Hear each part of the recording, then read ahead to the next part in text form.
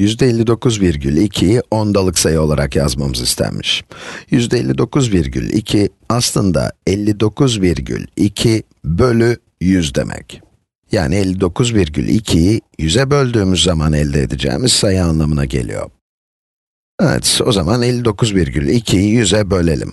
Bunun için önce ondalık sayıları hatırlayalım. Eğer bir sayıyı 10'a bölersem, ondalık işareti, yani virgül, sola doğru bir basamak hareket eder. Böyle değil mi? 59,2'yi 10'a bölersek 5,92 elde ederiz. Ama bizden 100'e bölmemiz isteniyor. Yani 5,92'yi bir kere daha 10'a bölmemiz gerekiyor.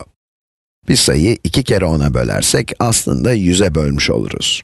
O halde sonucumuz ne olur? 0,592. İşte bu kadar. 59,2'yi iki kere 10'a böldük. Bunun içinde virgülü iki basamak sola kaydırdık ve %59,2'yi ondalık sayı olarak yazmış olduk.